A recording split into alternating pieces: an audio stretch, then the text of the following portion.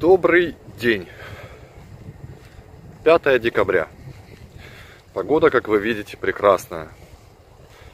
Пасмурно сегодня. Обещали весь день небольшой дождь. А, но зато тепло. Где-то плюс 10.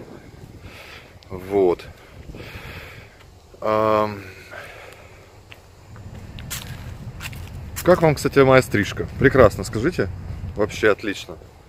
Спереди. Я сегодня как раз по этому поводу хотел поговорить. Про парикмахерские в Штатах, по крайней мере в Джерси. А, если описать короткой фразой, то это полное дно. А, сейчас объясню почему. А,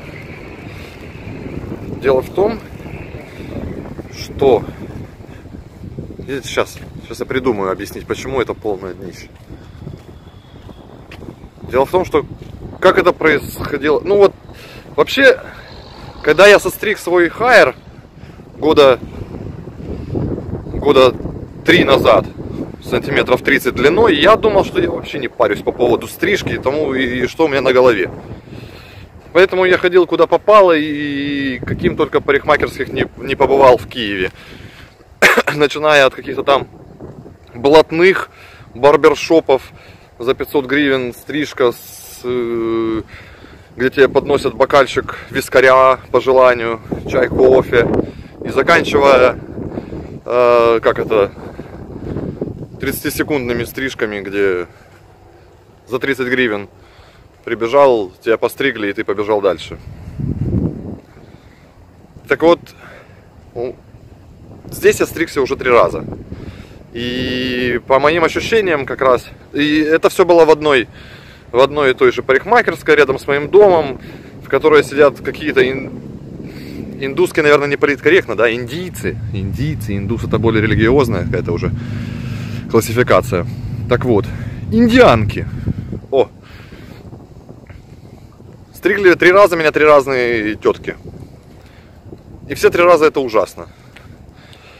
По по, по, по этому, по качеству стрижки это как раз вот напоминает вот э, наши вот эти вот э, забегаловки парикмахерские, где за 30 гривен на тебя уделяют 15 минут, и ты побежал дальше. Вот по качеству это как раз оно. Потому что на тебя уделяют реально 15 минут.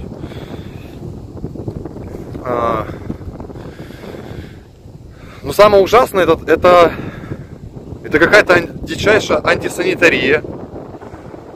Потому что когда ты видишь, что берут насадку, она вся в чьих-то волосах, она делает пару скребков какой-то грязной щеткой по этой насадке, там волосы полетели, она их там все даже не вычислила.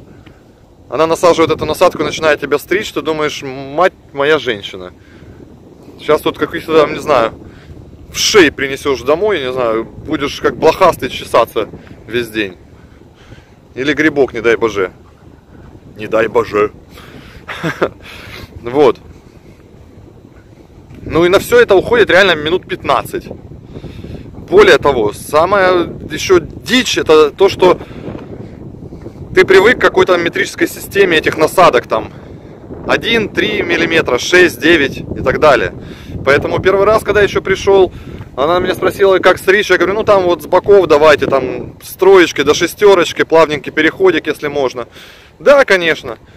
Начинает насадочкой, заканчивает. Причем они тебя крутят постоянно. У нас обычно ты сидишь практически всегда лицом к зеркалу и мониторишь, что они делают. Эти же вместо того, чтобы вокруг тебя ходить, как делают наши, они крутят тебя. Они не хотят ходить. Они просто крутят твой стул. И, соответственно, большинство времени ты находишься за обзором зеркала. Ты не видишь, что она там делает. И в итоге потом она тебя поворачивает.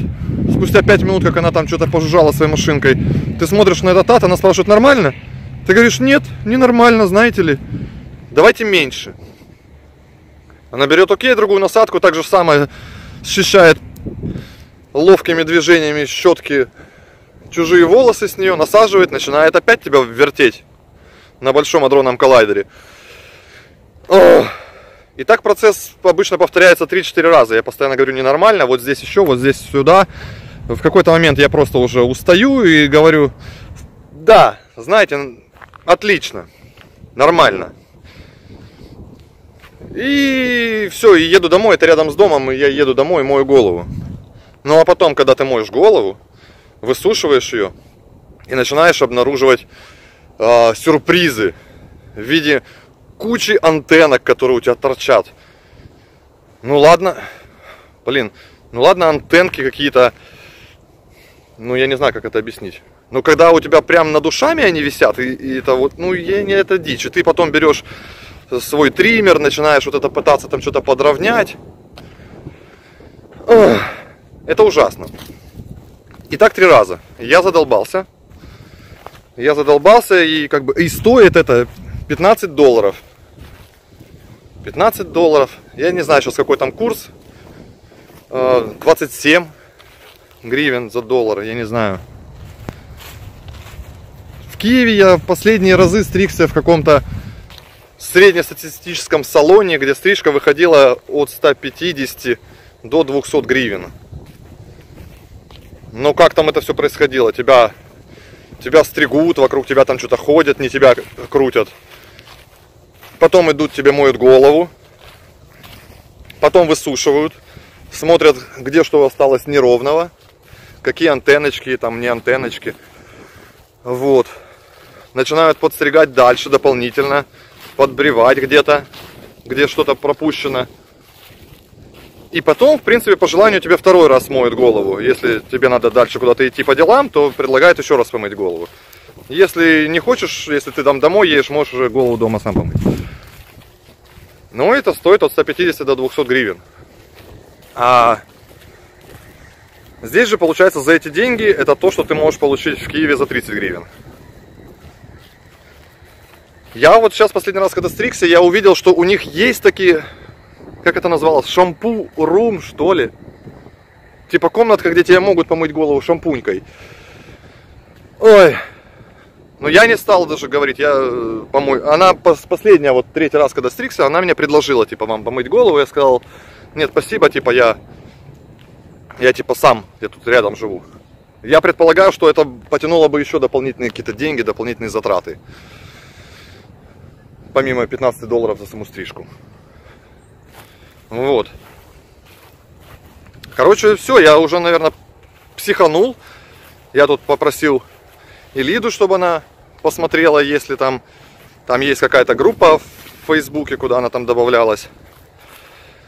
Чтобы она спросила, есть ли кто-то здесь из девочек, которые, может быть, стригут на дому, наших, которые как-то у них руки правильно стоят, они знают подход хотя бы к стрижке.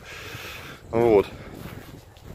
Ну и вчера мне тоже посоветовали посетить какой-то там салон, порекомендовали один. Он в Пескетовой, собственно, недалеко от работы. Поэтому вот через недели три, месяц, когда отрастет, я посещу. Но я зашел на их сайт, посмотрел, там мужская стрижка начинается от 30 долларов. И знаете, после тех трех раз, которые я ходил, я готов платить 30 долларов за нормальную стрижку. И возможно даже 50. И я уверен, это не предел. Потому что мне сказали, есть салоны, где стрижка стоит 400 долларов, там надо записываться заранее, ты не можешь так просто так прийти. Плюс они не работают в воскресенье. У них сокращенный рабочий день, там, допустим, до часу или до трех, там, в субботу. Ой. В общем, все сложно. Я не знаю, что можно получить. Кто там стрижется за 400 долларов. Джордж Клуни может. Я не знаю.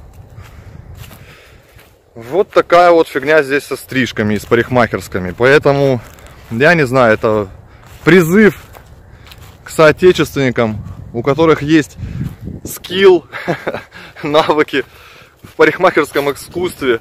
Я думаю, здесь можно нормально зарабатывать, просто стричь людей на дому, не получая никаких лицензий, не платя никаких налогов. Ты просто по своим, по знакомым, тут хватит тебе работы и клиентов, чтобы стричь дома. Хочешь, можешь получить лицензию и устроиться в какой-нибудь салон нормально, а не вот этот вот, а не вот это вот все. Вот. Ну, собственно, пойду я. Там белки вон бегают какие-то. Я гуляю вообще окрестностями после обеда. Ой, куда-то забрел.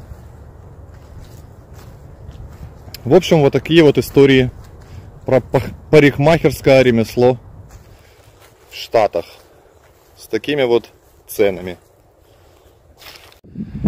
Добрый